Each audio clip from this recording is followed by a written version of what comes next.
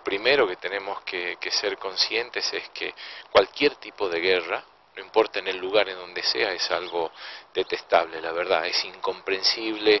Este, y bueno, frente a esto, ¿qué hacemos? La guerra en, Medio Oriente, eh, la persecución de los cristianos, eh, de las comunidades cristianas en Irak, algo tenemos que hacer nos pareció importante unir el gesto del Papa Francisco que nos invita a todos los católicos en el mundo a juntarnos a rezar, y que me parece que este, este es el sentido del, encuentro de mañana, 20, 30 horas después de la misa de la Basílica San Francisco acá en Córdoba 15, juntarnos en torno a la Eucaristía y poder rezar a Dios para que ilumine el corazón de los gobernantes y que por sobre todo pueda eh, sostener el corazón de tantos hermanos nuestros cristianos que están siendo perseguidos. La guerra, la persecución, parecen cosas tan ajenas a nosotros, los salteños, los argentinos, gracias a Dios no lo estamos viviendo en carne propia, pero si hay una persona que sufre en cualquier parte del mundo, sufrimos también nosotros, eso es evidente. Hoy les pasa a ellos, mañana nos puede pasar a nosotros.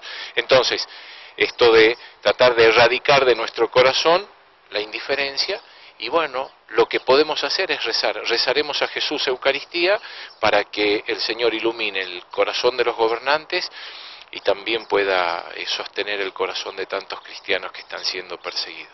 Cualquier tipo de fundamentalismo, los excesos siempre, siempre lo sabemos por historia, lo hemos vivido como pueblo, como nación.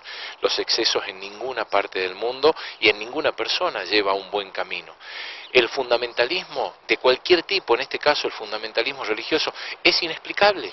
Es inexplicable porque atenta contra la dignidad del ser humano, atenta contra la dignidad de los más débiles. Esto es lo que denuncia el Papa Francisco. Digo, y cuando hablamos de fundamentalismo, tenemos que tener cuidado los católicos también, de no tener en nuestros corazones algún vacilo de fundamentalismo. Por eso, ¿qué podemos hacer? Y nos encontramos en torno a la oración.